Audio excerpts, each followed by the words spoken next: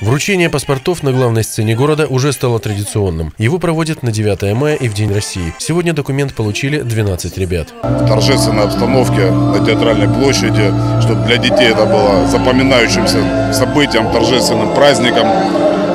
Поднимаем патриотизм таким образом наших граждан, деток несовершеннолетних. Чувствую то, что стала взрослее, то есть теперь ты ответственна за все, что делаешь.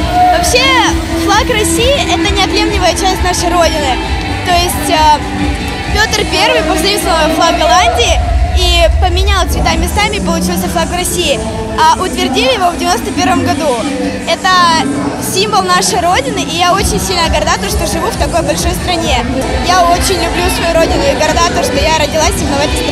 Историки до сих пор спорят, почему были выбраны именно эти цвета и что они обозначают. По одной из версий, белый цвет – это свобода. Синий символизирует Богородицу, а красный – державность. Другие считают, что это символ благородства, честности и смелости. Но как бы то ни было, День российского флага сегодня – один из самых главных праздников страны. Я хочу сказать, что наша семья глубокие патриоты.